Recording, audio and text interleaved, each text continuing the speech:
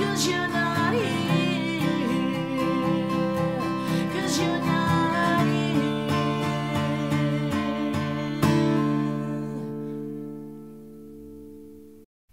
Forever Autumn.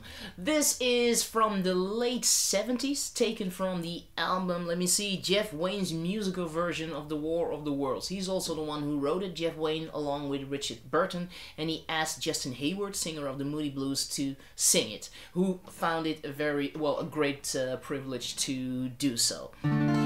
Does it so gorgeously. So, this lesson is mainly, if not, well, completely based on how Justin performs it, like live on stage in an acoustic setting, along with flutes, another guitar player, a synthesizer, and just him on guitar. I've seen him play it by himself, uh, totally by himself as well, by the way. Anyway, so it's based on that.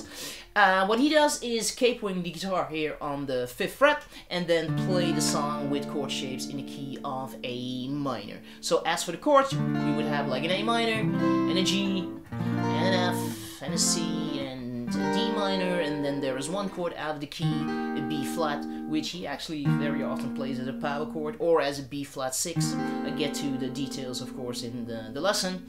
However, this is what you can expect for the fretting hand. The right hand, he keeps it really simple. Just going for downs and ups. One and two and three and four and one and two and three and four and like so.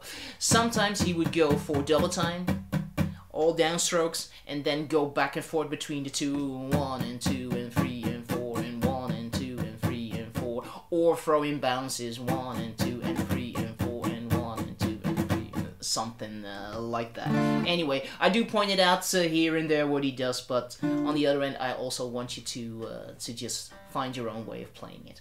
However, so this is not too hard, but when you want to, of course, incorporate the intro, which reappears a couple of times in the song, that is a little bit more challenging. Not necessarily what to do, but it's fast. So. You need to pick out individual notes, which he does with a pick and which he actually does with all downstrokes. Personally, I prefer to use ups and downs there as well, as if I'm strumming this, which indeed requires focus strumming. No matter if you're going for all uh, downstrokes or downs and ups, don't get me wrong there at all. I show you both by the way, and of course which notes you need to play. I hope you know the, the notes uh, by name here in first position, because it involves E on the top string, D on the second string, C on the same string, B on the same string, and an A on the third string. So you go from D, uh, sorry, E,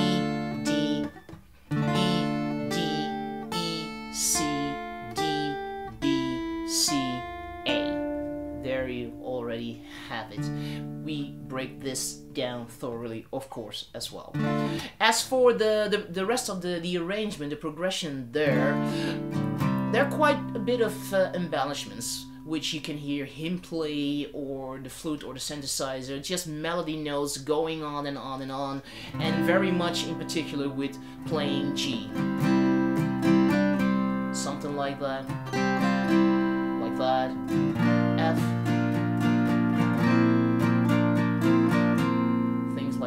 for A minor. Hammer on there.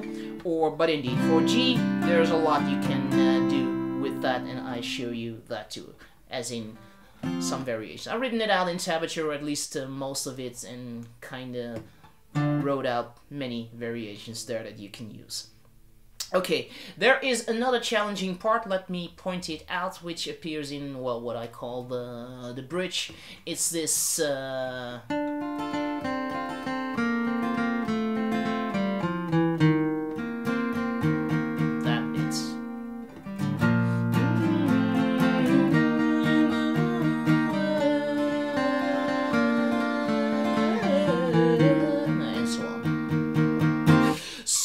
if you would count it, it would be like this. One and two and three and four and one and two and three and four and one and two and three and four and one and two and three and four and personally I find it really um, a triplet feel actually. So it might be easier to count it in groups of three. So just one two three. So let me show you. One and two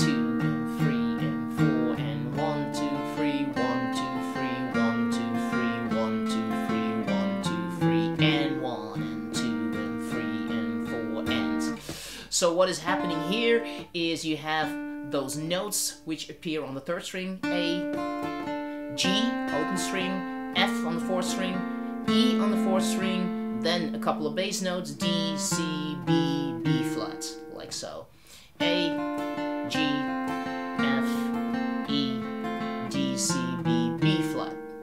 And that was the end of beat four. And one, and two,